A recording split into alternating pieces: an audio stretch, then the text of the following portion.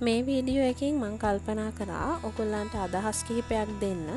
අපේ පොඩි අයට බිත්තර කොයි විදියටද පිළිගන්වන්න පුළුවන් කියන කාරණය ඒ වගේම බිත්තර ලදරු ආහාරයක් හැටියට කොච්චර වැදගත්ද කියන කාරණය පිළිබඳ යම් කිසි අදහසත් දෙන්න මං කල්පනා කරා.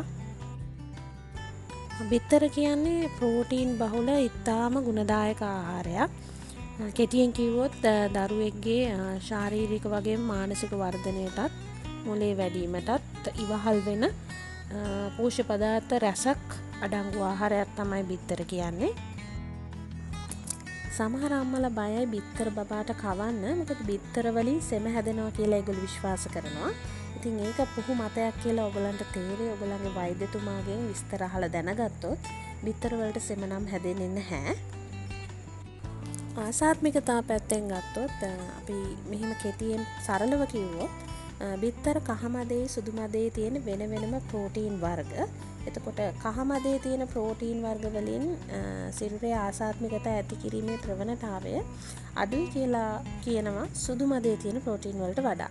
එනිසා දෙමව්පිය හැටියට බබාලට මාස හය සිටියහලට කහමදය දීම ආරම්භ කරන්න පුළුවන් කිසිම චකිතයක් නැතුව චුට්ට චුට්ට දීලා පුරුදු කරගන්න පුළුවන්. ඊට පස්සේ මාස දහයෙන් විතර පස්සේ සුදු මදය දෙන්න පටන් ගන්න පුළුවන්. නමුත් අද කාලෙ නම් මාස හයෙන් ඉහලට සම්පූර්ණ බිත්තරේම චුට්ට චුට්ට පුරුදු කරගන්න දීල පුරුදු කරගන්න අම්මලත් ඕන තරම් ඉන්නවා කිසි ප්‍රශ්නයක් නැතුව. දැන් අපි බලමු බිත්තර පබාලට හරිගස්සල දෙන්න පුළුවන් ක්‍රම ටිකක්. මේ මේ පින්තූර පෙන්වන්න බිත්තර ස්ක්‍රෑම්බල් කිරිත් සමග එකතු කරලා බිත්තර ස්ක්‍රෑම්බල් හදාගන්න පුළුවන්. පොඩි ඇහුඟක් මාස කරන කෑමක් තමයි මේක. ඊළඟට පුළුවන් අපිට බිත්තර හොඳින් තම්බල දෙන්න. පුංචි අයට බිත්තර දෙනකොට අපි හාෆ් බොයිල් කරලා ගැන බාගෙට තම්බල දෙන්නේ නැහැ. හොඳටම තම්බන්ඩ ඕන. එක අත්‍යවශ්‍ය කාරණයක්. ඉතිං තම්බගත්ත බිත්තර මේ විදියට වෙජස් වගේ කපල මේ විදිිය හැඩයට කපල හරි. එහෙම නැත්තම් මේ වගේ චූටි චූටි බයිට් සයිස් විදියට පුංචි සයිස්සකට කපල හරි දෙන්න පුළුවන්. දැන් ඕගලන්ට මතක් වෙන ඇති මගේ කලින් වීඩියෝ බැලුවන ඒක මේක තිබුන්නෑ නේද කියලා ෆිංග ෆුඩ් එකක් විදිට ඕ මට ඒ ඇතුළත් කරන්න බැරුව ගියා. මෙන්න හොඳ ෆිංග ෆුඩ් එකක් හොඳට තම්බපු බිත්තර මාස නමයෙන් ඉහල බබාලට මේ ආකාරයටත් දෙන්න පුළුවන්. ඊළඟට අපිට මොකක් හරි එලෝලුවක් එක්ක බිත්තර මිශ්‍ර කරලා මේ වගේ ඔම්ලට් ආකාරයට හදාගන්න පුළුවන්. ද මේ පින්තුර නම් තියෙන බ්‍රොකොලි වගේ දෙයක් එක බිත්තර මික්ස් කල් ඔම්ලට හදාගෙන බබට අල්ලන්න පුළුවන් සයිසකට කපලා පිළිගන්නලා තියෙන ආකාරය.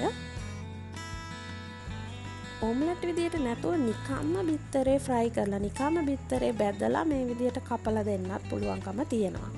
ඉතින් මේ හැම එකම දැම්මම් පෙන්නුව ෆිංග ෆුඩ් විදියට දෙන ආකාර.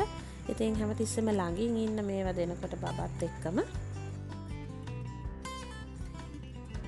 මේ පින්තුර තියෙන්නේ එක්මෆින්ස් එක්මක්ෆින්ස් එක එක විදියට එලවලු වර්ග එකතු කරගෙන චීස් වගේ දේවල් එකතු කරගෙන රසට හදාගන්න පුළුවන්. මං ඉදිරියේදි වීඩියෝ එකක් ඔගලන්ට කරලා පෙන්න්නම් එක්මෆින්ස් හදන විදිය. ඒකත් හුඟක්ම රසවත් බබා ලාස කරන විදියක්. ඒ වගේම බිත්තර පාවිච්චි කරලා විට පෑන්කේක් හදන්න පුළුවන්. එතින් මේ රූපය පෙන්නලා තියෙන කුරක්කංවල් කුරක්කනුත් එකතු කල්ල හදාගත්ත පෑන්කේ ඉතින් එක එක විදිිය බනාන පෑන්කේක්ස් නෝමල් පෑන්කේක්ස් වගේ එකක විදිිය පෑන්කේක් හදන්න පුළුවන් බිත්තර පාවිච්චි කරලා පිට මේ පෙන්නල තියෙන්නේ සුදුසු පළතුරක් සමගුණත් බිත්තර කහමදය හෝ සම්පූර්ණ බිත්තරයම හෝ එකතු කරලා කෑම වර්ග හදාගන්න පුළුවන් කියන කාරණය මේක මම නිතරම කියන උදාහරණයක්. කලි ගැට පේර සමඟ කහමදය මෙතන කිරිත් තියෙන මේ තුන එකතුනාම රසවත් ආහාරයක් හැදෙනවා. උදාහරණයක් මේ. ඒ වගේම එලවලුත් තම්බලා එලවලුත් සමඟ විත්තරය එකතු කරලා කවන්නත් පුළුවන් බබාලට. ඉතිං මෙතන පෙන්නල තියෙන එක උදාහරණයක්. චීසුත් මේකට එකතු කරලා තියෙනවා මම.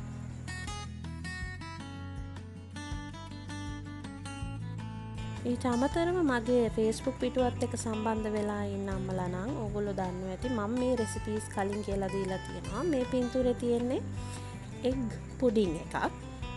මේක හදන විදිිය මං ඉදිරිදි වීඩියෝ එකක් කරන්න බලාපොරොත්තු වෙනවා. මේකත් හරිම වෙනස් විදියට පිළිගැන්වීමක්. ඒවගේම මේ තමයි එක් කස්ට මේකත් හරි ලේසියෙන් ඉක්මට හදාගන්න පුළුවන්. ඇති මේ පුඩින් එකේ එක් කස්ටඩ් එකයි මං ඉස්සරහට වීඩියෝස් වලින් ඔගලන්ට හදල පෙන්න්නම්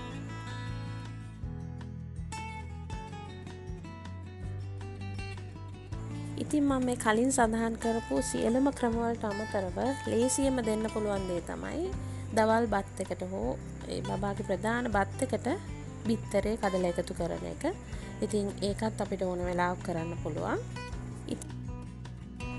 ඉතින් මම අදහස් කීපයක්ම ගොලන්ට දුන්න කියලා හිතනවා. අපි තවත් වැදගත් වීඩියෝ එකකින් ළඟදිම මුණ ගැහැමු. විශේෂයෙන් බිත්තරවලින් හදන කෑමකුත් එක්ක ළඟදිම මුණ ගැහැමු.